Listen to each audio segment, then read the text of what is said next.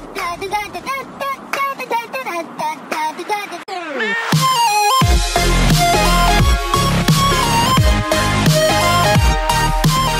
Salut les amis, aujourd'hui nous sommes le 10 03 2017 et nous allons voir le Baroquiter. Et nous sommes sur le relais de Pluton, le maximum c'est d'être paillé 8 si vous souhaitez accéder à ce relais. Voilà, donc il se trouve sur Pluton. Je vous le rappelle pour ceux qui ne savent pas ou qui m'écoutent pas, eh ben vous avez la petite icône du Baroquiter sur les planètes indiquée où ce qu'il se trouve et vous avez également un message dans votre communication de message pour vous dire où ce qu'il se trouve. Nous sommes sur PC et après comme d'habitude nous allons voir sur console ce qu'il apporte. Avant de commencer, je vais vous montrer deux petites choses. Voilà, enfin le paillet 22 et le paillet 23 est à notre disposition. Nous allons passer le paillet dans quelques semaines. Je vous ferai ça en vidéo. Bon, avec du retard, je sais qu'il y a déjà plein de gars qui l'ont déjà fait. Mais euh, j'y peux rien. Moi, j'ai dû recommencer à zéro. Vous savez qu'à la base, j'étais sur console. Donc voilà. Mais je peux vous assurer que quand le paillet 24 sera disponible, eh ben, il n'y aura pas de retard parce que si j'aurais continué sur console, j'aurais dû attendre que la mage arrive sur console et encore plus de retard. Donc c'est génial. Ensuite, il y a également une nouvelle arme. Euh, c'est un peu comme le Javelock, mais encore plus. Vous le voyez pas très bien, c'est dans le bâton. Voilà, et je crois que c'est des dégâts électriques. J'ai pas totalement testé. Et euh, j'ai branché Prime, voilà. C'est tout ce que je voulais vous montrer. Donc, on va aller voir ce qu'il nous apporte, ce petit ballot. Donc, les sables d'Inaros, pour avoir la quête euh, d'Inaros, voilà, tout simplement. Alors, quand tu t'as cru, augmente la durée de pouvoir. Euh, les modes d'impact, je pense que c'est le 7, c'est-à-dire le complet. Donc pistolet, fusil, fusil à pompe, mêlée, ouais. Donc c'est le full complet. Euh, la tétraprisma, le plastron EOS Prime, donc qui doit avoir, voilà, les épaulières EOS Prime, de droite et de gauche, les jambières, enfin moi j'appelle ça les jambières, euh, sauf que ça s'appelle pas les jambières, vous voyez. Et vous avez le pack de mode euh, de dragon et euh, du faucon. Alors voilà, euh, la nouveauté, seulement une palette de couleurs pour les cavates. Bon, je vais le prendre, vous voyez que j'ai formé encore des ducats, je vais vous montrer aussi mes primes, vous allez voir j'ai beaucoup, beaucoup, beaucoup joué. Énormément. Alors, je vais vous faire, vous inquiétez pas, les conseils juste après, mais je vais juste vous montrer que j'ai beaucoup pour les anciens qui sont là depuis longtemps, qui me suivent, vous vous rappelez, vous savez que j'avais quasiment que dalle. Voilà. J'ai beaucoup, beaucoup, beaucoup, beaucoup joué. Je vous imaginez pas à quel point. Bon, c'est pas des masses comparé à ceux qui sont là depuis longtemps, mais pour quelqu'un qui a pas mal de choses à faire quand on recommence à zéro, c'est un bon début. Et ça veut dire qu'on n'est pas loin de euh, la fin. Entre guillemets. Alors, qu'est-ce que je vous recommande? C'est très simple. Sabinaros, comme d'habitude, si vous ne l'avez pas faite. Si vous n'avez pas la Warframe Inaros, c'est une très bonne Warframe euh, immortelle, entre guillemets. Alors, qui est très très bien, je vous recommande. Alors, quand tu es accru, euh, quand c'est un accru, normalement, il faut toujours prendre. Un mode accru, c'est le plus important, c'est une amélioration d'un mode et c'est génial. Et encore plus quand c'est de la durée, donc toujours apprendre si vous n'avez pas.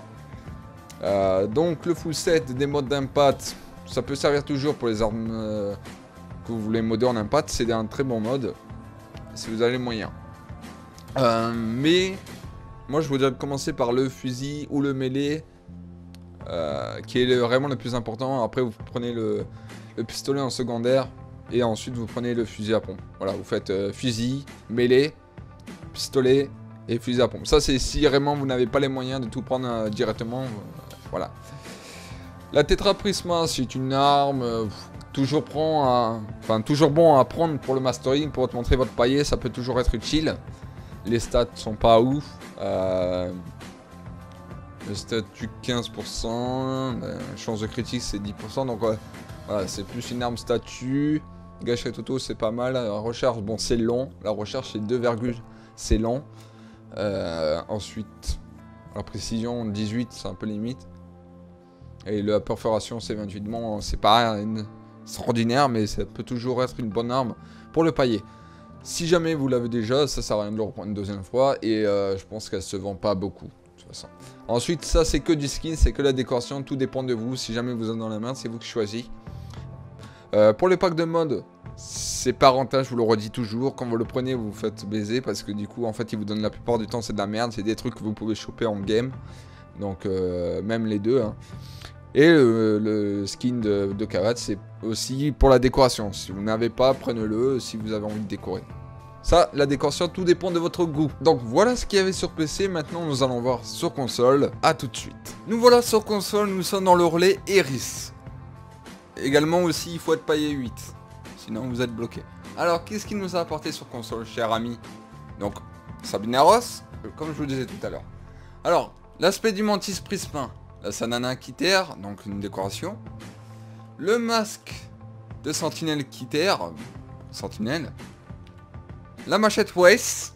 Alors, vous avez les modes de posture Tempête Vermillon pour le griffeur. Une autre posture également ici pour la glaive.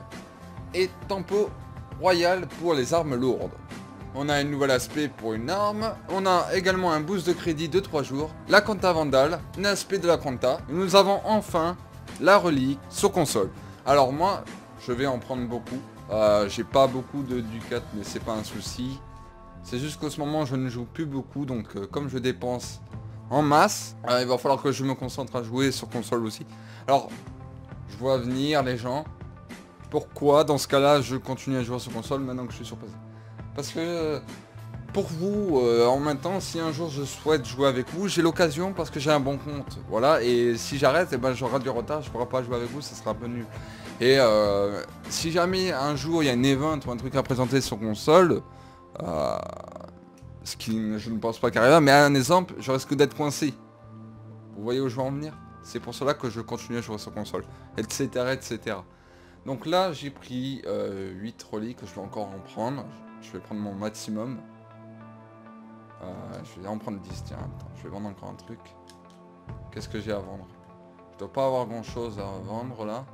Bon, de toute façon, ça je pourrai toujours le redropper, allez. Hop. les gens doivent être enfin contents qu'il est enfin disponible sur console. Euh, je suis un peu déçu de cette arme. Franchement, vraiment déçu. Euh, pas puissant dans les souvenirs. À l'époque, on s'était dit... Ça fait très longtemps que cette arme, on souhaitait qu'elle vienne en double au lieu d'être tout seul. Et au final, ils nous ont déçus avec les stats qu'ils ont rabaissé. Mais euh, bon, bref, on va pas détailler là-dessus, c'est pas le but. Donc voilà ce qu'il y avait sur Baroquiter. Je vous rappelle a la précédente vidéo sur le build et Fauna Prime que j'ai faite. Pour compenser, vous savez que... Enfin, je sais très bien qu'il y a certains de vous on a un peu marre de voir que du marchand, je compense un peu de temps en temps, je le fais pas toujours. De temps en temps je sorte deux vidéos au lieu d'une seule avec le marchand pour euh, compenser. De temps en temps je sors une vidéo sur le marchand tout seul et de temps en temps je sors une vidéo accompagnée avec le marchand pour vous faire plaisir les amis parce que je vous kiffe. Et sur ce je vous dis à très bientôt. Bye bye tout le monde, ciao